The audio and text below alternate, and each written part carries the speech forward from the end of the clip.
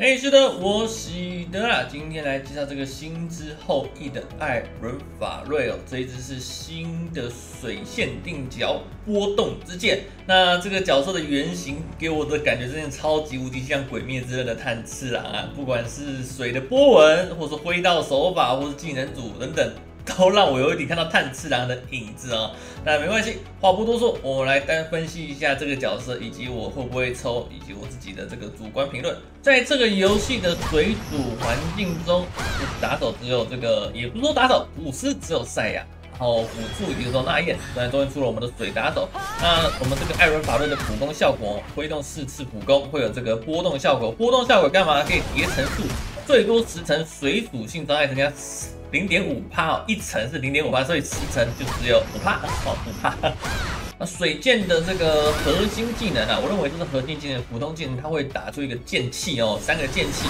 那如果你到元一的时候变五个剑气，打到的时候也会叠到两层波动，并且赋予这个剑气的波涛汹涌的效果，就会提升伤害十帕。如果被标记到敌人十帕，但我觉得十帕也是普普通通了。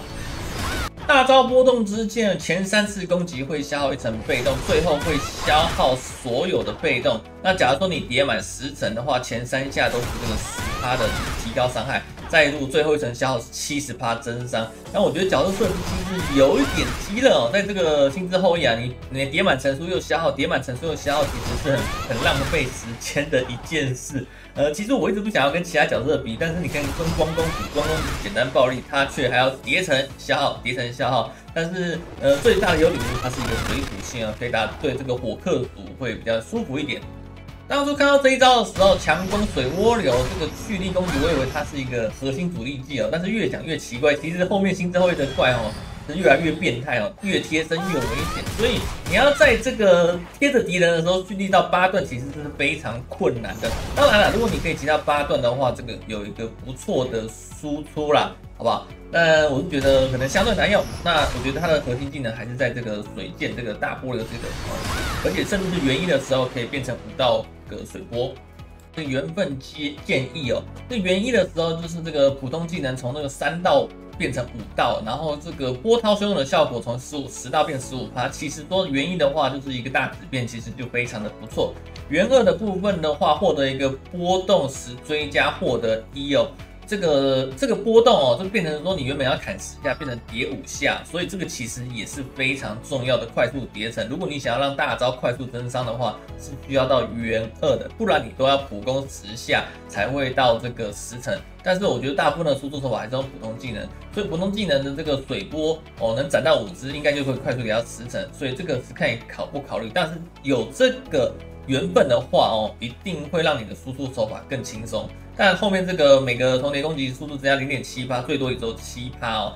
呃，我觉得七趴攻速真的是可有可无啦。在这个游戏，缘分三的话是波动之间技能等级加三，这个是最普通的进化缘分。缘分四的话，我们的波动可以叠到十五层哦，然后每叠加一层，攻击增加一趴哦。所以这个第四层也是一个大质变，第五层也是技能增加加等加三。还有我们第六层变成波动增加二十层，消一层波动时可以这个伤害有十八变二十八，这个是大，这个是最大的图片啊。所以说水剑要玩得好的话，我觉得大图片这一次的这个限定角做的非常贵啊。那个第六层跟一四六的每次的图片都会变得很有感觉。所以说，我觉得如果你是小氪无氪，建议的话是尽尽量一定要抽个元一会是比较好的。再来就是要往元四，再来是元六哦，不要卡的刚刚好。元一、元四、元六自己做选择哦。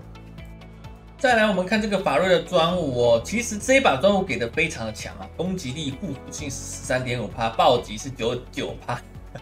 我老实说一句话，如果你有玩光大剑的话，或许可以把这把武器抽给光大剑，毕竟这游戏的专武是共用的嘛。普攻或普通技能伤害敌人时，这个获得激励的效果，那光大剑也是可以的。然后在进行强攻或特攻的时候，光大剑也是可以的，伤害量增加十五趴。所以说，我觉得这把剑哈，呃，是适合光大剑的。我我是题外话，这光大剑跟水剑通用的。呃，但但这个提升到第六六六六把刀的时候是这个三十三层，然后五层叠到一百六十五趴，但我还是觉得偏贵。我觉得它一个以园林武器来说，你可以这个如果没有抽到哈根大剑的朋友，或许可以拿这个生命的波纹给光大剑或者水剑做使用，我觉得是一个很好的选择。